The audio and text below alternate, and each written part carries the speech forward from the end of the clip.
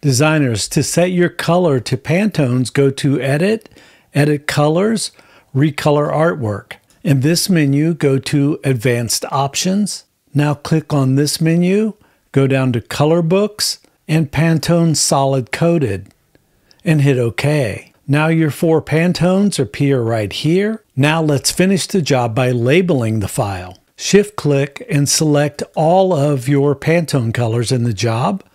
Go to the hamburger menu and drop down to Create Swatch Info. You only really need to select the Pantone colors, so show color name and hit Create. Now the printer knows exactly the Pantone colors you chose and the ones they're supposed to print.